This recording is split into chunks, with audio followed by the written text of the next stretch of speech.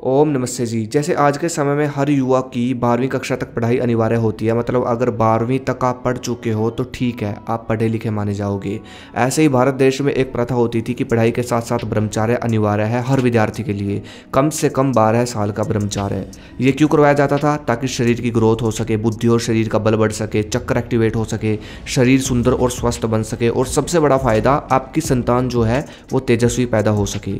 इसलिए आयुर्वेद में वज्र का बहुत ज़्यादा महत्व बताया गया। और अब तो बाहर के लोग भी इस चीज़ को अपनाने लग गए। नोफैप आपने सुना होगा, अपनी एनर्जी को सेव करना, धातु को सेव करना। तो ब्रह्मचार्य अगर घर पर फॉलो करना है तो इसमें क्या क्या आता है, कैसे क्या होगा, चलिए जानते हैं। तो सबसे ज़रूरी चीज़ जो ब्रह्मचार्य में आती है, वो है वज्र धातु की रक्षा। मतलब आपको कुछ गलत नहीं देखना मोबाइल में, सोचना नहीं है आपको कुछ गलत गलत क्रिया नहीं करनी। बस वज्र धातु की रक्षा करो, जब तक कर सकते हो। क्योंकि जितना करोगे, उतना फ़ायदा मिलेगा इसका। दूसरा नियम है, सुबह ब्रह्म मुहूर्त में उठ जाना। सुबह जब आप ब्रह्म मुहूर्त में उठते हो तो ब्रह्मांड पॉजिटिव ऊर्जा देता है, जो ऊर्जा पूरा दिन आपके अंदर रहेगी। तीसरा नियम है, प्राणायाम और ध्यान। ये मुख्य है। प्राणायाम आपकी धातु को ऊपर खींचता है, आपकी धातु का जो सार है, उसको ऊपर खींचता है, और ध्यान आपकी सोच सही रखेगा, काम वासना को खत्म करेगा, और आपकी ऊर्जा को केंद्रित करेगा। पहले के समय में ना, हर कोई ध्यान और प्राणायाम से दिन की शुरुआत करता था। वो चाहे कोई योद्धा हो, पहलवान हो, ऋषि मुनि हो, राजा हो, हर कोई।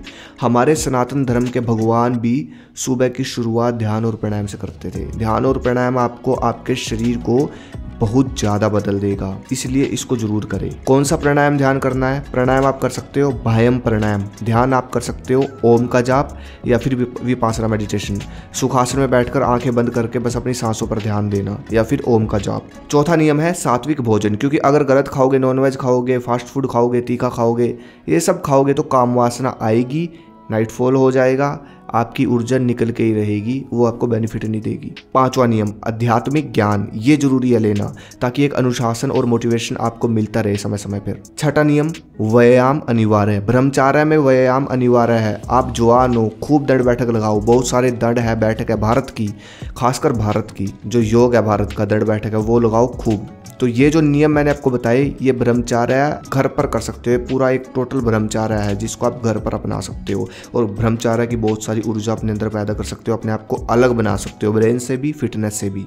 अब आता है आप सबका सवाल, हर किसी का सवाल, कि ब्रह्मचार्य की एनर्जी या शक्ति कितने दिनों में मिलती है, कैसे मिलती है, क्या फ़ायदा होता है, क्या होता है? तो सुनो इस एनर्जी से अगर मैं समय की बात करूँ कि कितने समय में फ़ायदे मिलते हैं तो जो फ़ायदे मिलने शुरू होते हैं, जो ऊर्जा मिलनी शुरू होते हैं ब्रह्मचार्य की तो ये मिलती है लगभग चौरासी दिन के बाद। जैसे कि नींद, जो आपकी नींद होगी, उसकी क्वालिटी बढ़ जाएगी क्वांटिटी घट जाएगी। मतलब कम समय में आपकी नींद पूरी हो जाया करेगी, क्योंकि आपकी बॉडी में ऊर्जा रहने लग जाती है ब्रह्मचार्य से। फिर आता है सुंदरता अट्रैक्टिव बॉडी चौरासी दिन के बाद जब इस ऊर्जा का सार ऊपर की तरफ़ जाता है तो आप खुद देखना एकदम से कितना ग्लो आएगा आपके ऊपर। शरीर का बल। क्या आप जानते हो, इस धातु का लिंक टेस्टोस्टेरोन से भी है। इसलिए जब आप मास्टरबेट करते हो मतलब अपनी धातु को निकालते हो तो कमज़ोरी फील होती है। थकान स्टेमिना लो ये सब चीज़ें होने लगती है शरीर के साथ, क्योंकि टेस्टोस्टेरोन लो हो जाता है एकदम से। बॉडी को झटका लगता है बहुत बड़ा। और जब इस धातु को आप बचाते हो तो टेस्टोस्टेरोन हाई होता है, जिससे शरीर का बल बढ़ता है और कम वर्कआउट करके कम डाइट लेकर भी आपकी बॉडी अच्छी बन जाएगी। ये चीज़ आपको खासकर मिलेगी, जो ब्रह्मचारा फॉलो करते हैं ना, वो कम डाइट लेंगे, कम व्यायाम करेंगे, फिर भी उनकी बॉडी बहुत अच्छी ग्रो होगी उनके मुकाबले जो पाँच पाँच घंटे व्यायाम करते हैं। ब्रेन जब आप इस ऊर्जा की रक्षा करने के साथ साथ इसको बचाओगे और ध्यान और प्राणायाम करोगे तो ध्यान प्राणायाम आपके ब्रेन को इतना शार्प और शांत बना देगा कि आप सोच भी नहीं सकते, क्योंकि ध्यान और प्राणायाम, ये जो ऊर्जा है ना, जिस ऊर्जा को आप बचा रहे हो, इसका इसकी ऊर्जा लेके आपके ब्रेन को पावरफुल बनाता है। और एक समय ऐसा भी आता है, लंबे समय तक ब्रह्मचार्य अपनाने के बाद, ये ऊर्जा शिखर तक जा पहुँचती है, जिससे दिमाग बहुत ज़्यादा तेज हो जाता है, जिसको बोलते हैं जीनियस मतलब आप जीनियस बन जाओगे, वो स्टेज आपके पास आ जाएगी, लेकिन इसमें बहुत मेहनत चाहिए एडवांस लेवल का है बहुत बाकी सब हो जाता है, ठीक है? बस फॉलो करो, जितना मतलब फॉलो करते रहो, ठीक है? बिना कुछ आगे का सोचे बस अपनाओ, इतना करो, अपनाओ और फिर देखना सुंदरता, बल, कितना कुछ आपको मिलेगा, आनंद, एकाग्रता।